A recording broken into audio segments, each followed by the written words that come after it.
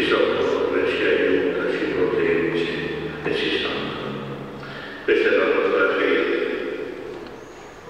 Quindi ringraziamo il Signore per averci dato anche questa grazia in questo anno e preghiamo soprattutto in questo momento per i nostri malati e sofferenti.